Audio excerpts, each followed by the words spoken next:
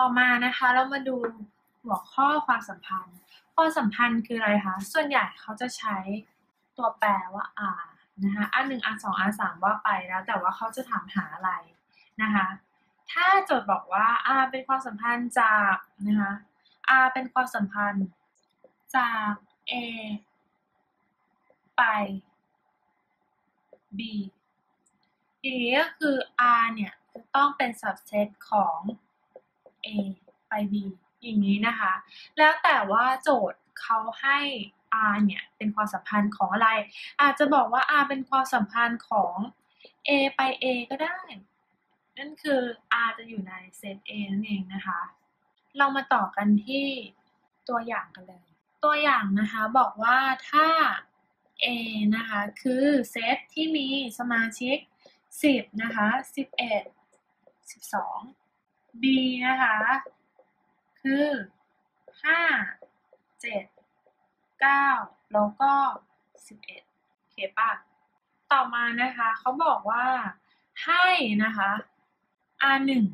คือให้ R1 คือความสัมพันธ์ที่มากกว่านะคะ จาก A ไป B นั่นคือเซต A ต้องมากกว่าเซต B ทันปะดังนั้นสมาชิกตัวหน้าจะต้องมากกว่าตัวหลัง โอเคปะ ดู10นะคะ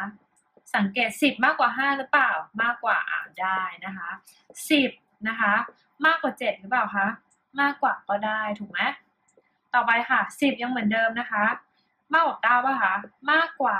ต่อมาค่ะ10ค่ะ มากกว่า11ไหมคะ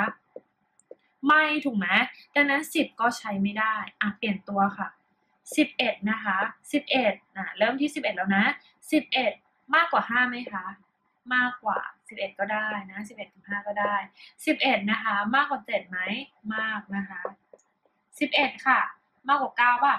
มาก แล้ว 11 มากกว่า 11ไหมคะ ไม่ งั้นพี่เปลี่ยนเป็น 12 นะ 12 นะคะ มากกว่า 5 ไหมคะ มากกว่า ก็ไล่ไปแบบนี้นะคะ 12 มากกว่า 7 ไหมคะ มากกว่า ต่อไปค่ะ 12 มากกว่า 9 ไหมคะ อ่า ได้ 12 มากกว่า 11 หรือเปล่า มากกว่า ฉะนั้น R1 นะคะคือความสัมพันธ์ที่มากกว่าจาก A ไป B เราก็ได้เซตแบบนี้เรียบร้อย โอเคป่ะ ต่อมาเรามาดูกันที่ R2 R2 นะคะเขาบอกว่าคือ R2 คือความสัมพันธ์ที่น้อยกว่าจาก A ไป B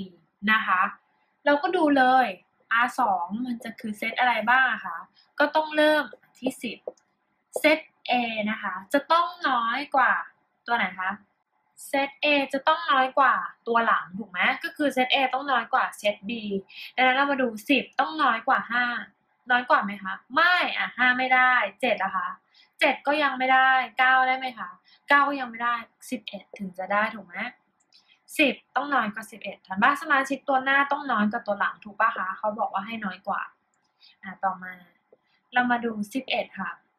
11 มีตัวไหนน้อยกว่า 11ไหมคะ ไม่มี ถูกไหมต่อมานะคะ เรามาดู 11 นะคะ 11 มีตัวไหนมากกว่า 11ไหมคะ ไม่มีถูกไหมฉะนั้น 11 ใช้ไม่ได้ เนื่องจากสมาชิกตัวแรกจะต้องน้อยกว่าตัวหลังทันไหมก็ได้แค่ตัวเดียวถูกปะถูกไหมคะ เนื่องจากว่าเซต B เนี่ยสูงสุดของเขาคือ 11 ถูกปะตัวที่น้อยกว่า 11 ก็มีอะไรมากมีแค่ 10 ตัวเดียวทันปะ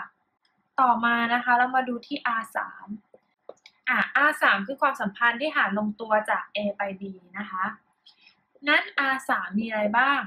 เซต A ต้องหารเซต B ลงตัว มีตัวไหนที่หารลงตัวคะ การหารลงตัวแปลว่าอะไรคะ การหารลงตัวแปลว่าต้องได้จำนวนเต็มถูกไหมก็ต้องมีตัวเดียวคือ 11 กับ 11 ถูกปะโอเคปะคะจบเลยค่ะ ต่อมานะคะเรามาดูตัวอย่าง เขาบอกว่าให้เซต A นะคะ คือจำนวนที่เป็นจำนวนเฉพาะ เซต B คืออะไรคะจำนวนเต็มบวกที่ต้องแจกแจงสมาชิกของเซต A กับเซต B ออกมาก่อนนะคะสำหรับเซต A เนี่ย เราแจกแจงออกมาได้ว่ามีอะไรบ้างคะจำนวนเฉพาะเริ่มต้นที่ 2 ถูกไหมสามนะคะห้าเจ็ดไปเรื่อยๆถูกปะต่อมานะคะ มาดูเซต B เซต B เขาบอกให้เป็นจำนวนเต็มบวกจำนวนเต็มบวกเริ่มต้นที่อะไรคะ ที่หนึ่งถูกไหมสองแล้วก็สามสี่ไปเรื่อยๆ ถูกไหมคะ ข้อนี้เขาให้หา r 1ถูกไหมกับ r 2อะเรามาดู r 1ก่อน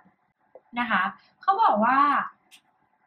r 1กับ r 2เนี่ยเป็นความสัมพันธ์จาก a ไป b ถูกไหมเนี่ยจาก a ไป b จาก a ไป b ทั้งนั้นเลยงั้นที่หา r 1ก่อนนะคะ r 1นะคะเกิดจากอะไรคะ y เนี่ยจะต้องเท่ากับ 2x ดังนั้นเราต้องเริ่มที่ x ก่อนถูกปะเนี่ย x y คูณดับ x y นะคะ เราต้องเริ่มที่ x ก่อน พี่ดู x นะคะ จาก a ไป b ใช่ไหมจาก a ไป b แปลว่าตัวแรกต้องเป็นสมาชิกของ a ตัวที่ 2 ต้องเป็นสมาชิกของ b ทันปะงั้นตัวแรกเราต้องดูจาก a นะคะ เราเริ่มที่ 2 เลยถูกไหม เราเริ่มที่ 2 นะคะ ต่อมา y จะเท่ากับ 2 คูณ x ดังนั้น 2 คูณ 2 เป็น 4 ถูกปะทันไหมคะ ตัวนี้แทนค่าลงไปค่ะ แทน 2 ลงไป เพราะเราแทน x เป็น 2 นะคะ ตรงนี้จะกลายเป็น 4 y จะกลายเป็น 4 ต่อมาเราเปลี่ยน x ค่ะ เป็น 3 ถูกปะเราต้องเลือกจากเซต A นะ เปลี่ยน x เป็น 3 แทน 3 เข้าไปค่ะ 3 2 6 กลายเป็น y ทันปะ อะตัวต่อไปเริ่มเก็ตแล้วนะ ตัวต่อไปเปลี่ยนเป็น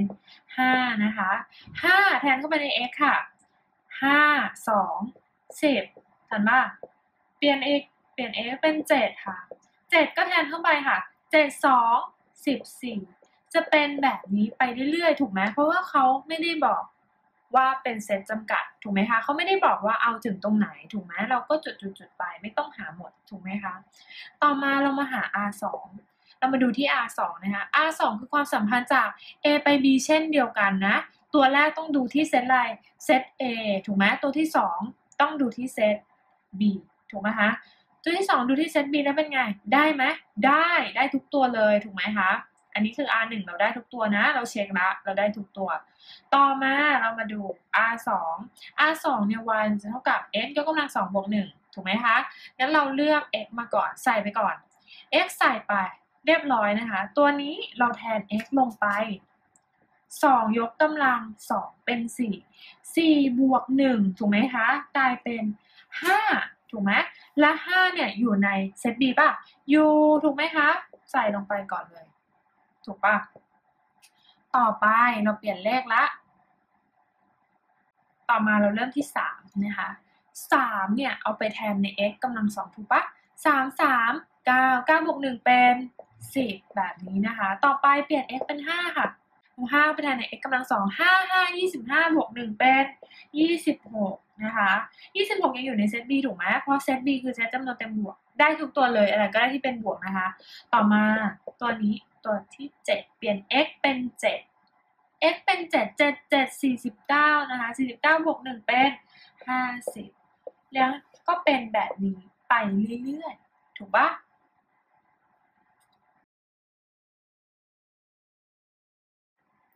เรามาดูกันที่ตัวผกผันกันบ้างนะคะ ตัวผกผันคืออะไรคะ ตัวผกผันเนี่ยมันก็คือ inward inward นะคะ ตัวย่อก็คือ i กกำลังลบหนึ่งนะคะ หมายถึง inward เรามาดูนะคะ จากความสัมพันธ์ของ r เนี่ยเท่ากับ x y นะคะ โดยที่ y เท่ากับ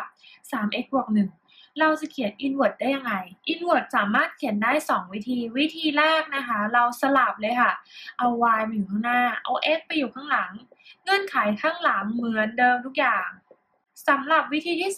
2 วิธีที่ 2ทำยังไง พิกัดตรงนี้ยังเหมือนเดิมทุกอย่างนะคะ แต่ว่า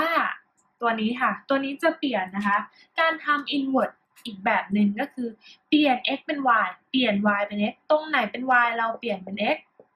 ตรงไหนเป็น x เราเปลี่ยนเป็น y แค่นี้เองค่ะเก็บปะ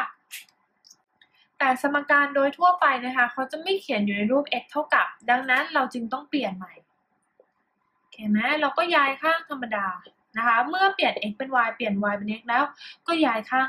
กลายเป็น y เท่ากับนะคะ เราก็มาตั้งนะคะ x เท่ากับ 3y บวก 1 ย้ายข้างนะคะ x ลบ1เท่ากับ 3y ทันป่ะ เราจะเอาแต่ y ใช่ไหมเราก็ย้าย3ไปหารถูกไหมคะ ถูกป่ะ เราก็จะได้ y ละ ดังนั้น y จะเท่ากับ x ลบ1ส่วน3เรียบร้อย ถูกไหมคะ จากความสัมพันธ์ทั้งหมดนี้นะคะ เราต้องรู้คุณสมบัติข้อนี้สำคัญมากเลยนะคะ ออกข้อสอบแกนแพดก็บ่อย ลองดูนะคะ โดเมน เรามาดูที่โดเมน โดเมนของฟังก์ชันนะคะ จะเท่ากับเลนของฟังก์ชัน inward แล้วเลนของฟังก์ชันนะคะ จะเท่ากับโดเมนของฟังก์ชัน inward เช่นเดียวกัน โอเคป่ะให้จำเอาไว้แบบนี้นะคะ เดี๋ยวมาดูว่าเราจะใช้ประโยชน์ได้ยังไง โอเคไหมเมื่อเรารู้จักโดเมนของฟังก์ชัน เลนของฟังก์ชันเรียบร้อยแล้ว เราต้องมารู้จักว่าโดเมนคืออะไรอะ แล้วเลนคืออะไร เป็นยังไงบ้างคะน้องๆ ถ้าไม่เข้าใจตรงไหนสามารถสอบถามกับพี่ๆ ได้ที่ Facebook Fanpage หรือ Official Line และสามารถติดตามคลิปวิดีโออื่นๆ ของเราได้ทาง YouTube Channel และอย่าลืมกด Subscribe กันด้วยนะคะ